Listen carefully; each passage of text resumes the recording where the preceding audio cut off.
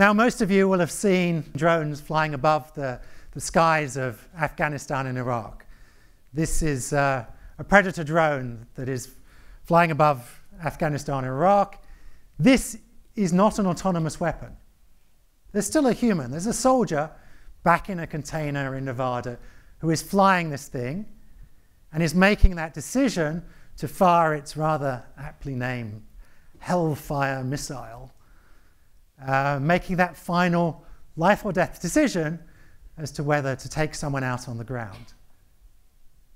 But it's a very small engineering leap to go from that, that remotely controlled drone, to something that would be completely autonomous. To take the human out of the loop, to have a computer fly that plane and make that final life or death decision as to whether to fire its missile. Now, that's not something that actually is technically very near. If you believe the UK's Ministry of Defence, they believe it's technically possible today. And I, certainly as an expert in the area, know that that, that is a, a worst or best a few years away.